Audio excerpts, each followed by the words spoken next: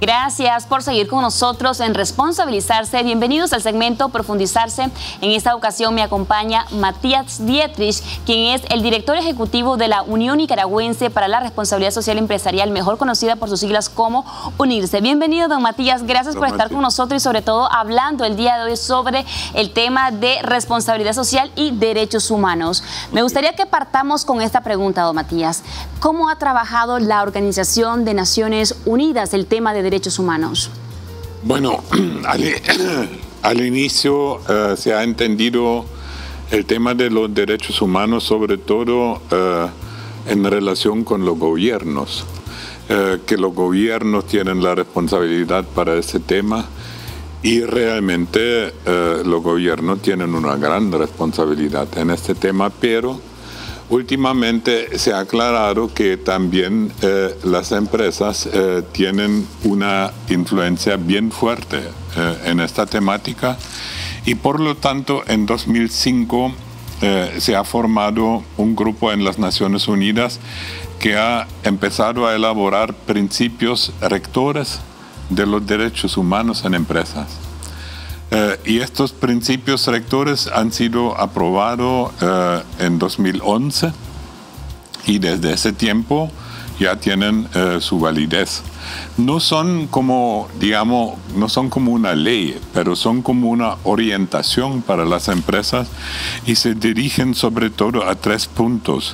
a la obligación de defender los derechos humanos en las empresas, a la obligación de respetar los derechos humanos en el trabajo diario en las empresas y la obligación eh, de reparar posibles daños que se han hecho en violando eh, los derechos humanos. Y hablando de esos tres enfoques o puntos, don Matías, ¿por qué es importante que las empresas trabajen desde un enfoque de derechos humanos?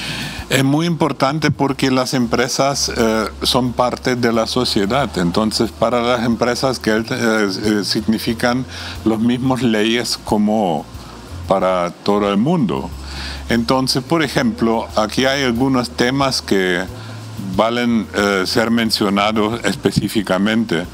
Por ejemplo, el trabajo forzado, que está prohibido eh, por los derechos humanos, el trabajo infantil, que hay empresas todavía que permiten el trabajo infantil eh, y de esta manera eh, hacen un gran daño al desarrollo de la niñez y de la adolescencia. ¿no?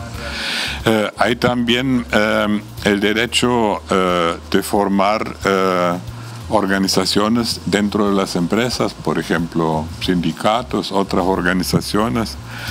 Eh, y hay eh, la necesidad de no permitir eh, cualquier forma de discriminación en las empresas, porque hay todavía formas de discriminación de personas de diferentes géneros, hay discriminación eh, de personas de diferentes etnias, etcétera. Entonces todo eso está prohibido. Todo eso está eh, sujeto, digamos, a sanciones de la ley.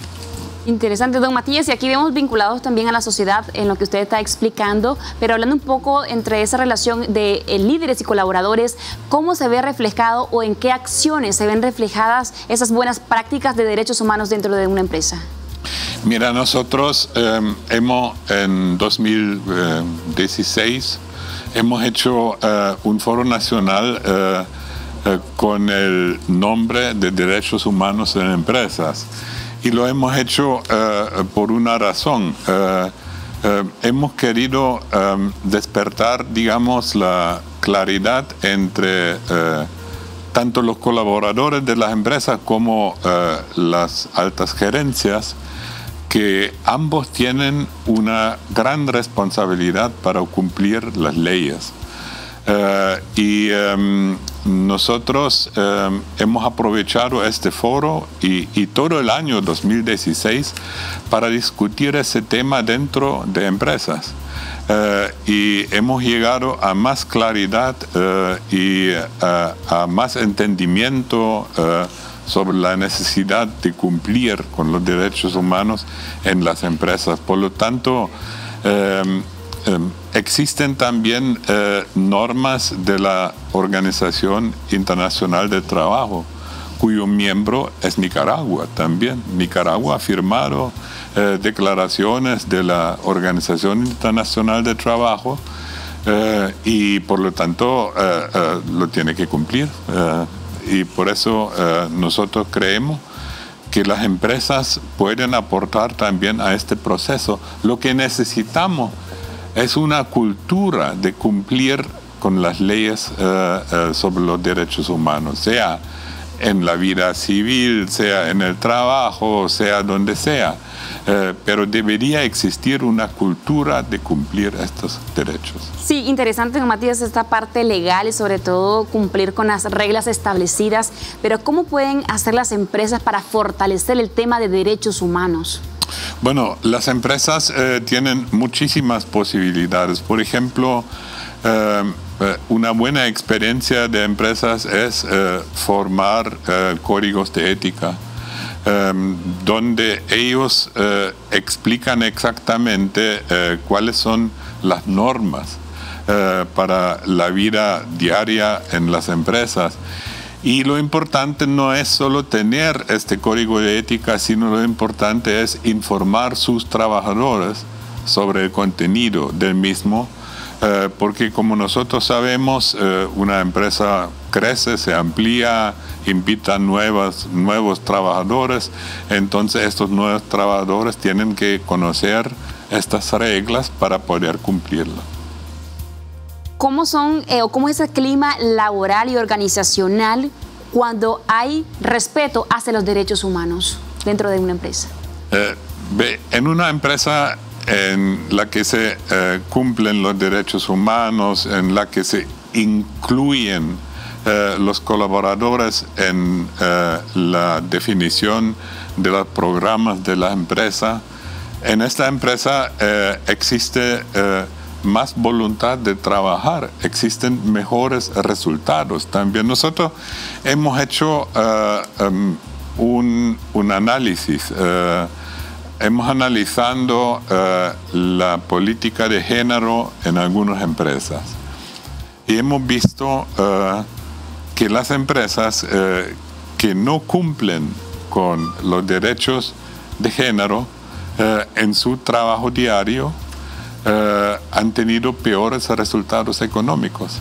Entonces, el que cumple los derechos humanos también gana en procesos de su trabajo. Eso es lo que siempre estamos diciendo.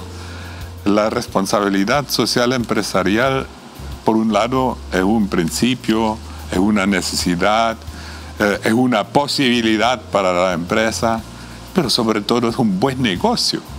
Si la empresa cumple normas nacionales e internacionales, eh, entonces va a ser mejor empresa. Don Matías, y para concluir, quiero hacer esta última pregunta que dice, ¿debería existir un plan nacional de derechos humanos entre que, sea, que involucre a las empresas, sociedad civil, organizaciones también no gubernamentales y Estado en Nicaragua?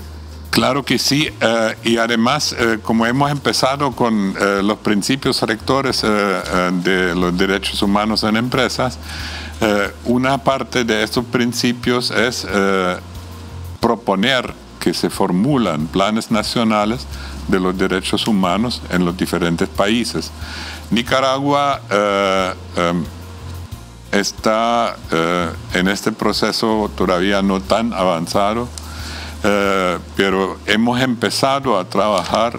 yo me recuerdo bien que en el foro de las Naciones Unidas sobre derechos humanos en empresas, eh, hemos informado en el año 2014 sobre primeros pasos que hemos hecho en Nicaragua en este sentido, eh, pero realmente son primeros pasos. Aquí hace falta mucho más eh, y em, existe la voluntad de la parte de las empresas de aportar más a este, a este tema para crear una atmósfera que em, ayude al cumplimiento de los derechos humanos en las empresas y que fortalece el trabajo de la misma empresa. Así es, gracias don Matías por habernos acompañado. Él es don Matías Dietrich, quien es el director ejecutivo de UNIRSE, hablando sobre el tema de responsabilidad social y derechos humanos. Vamos a irnos a una pausa comercial y cuando regresemos en Innovarse traemos un caso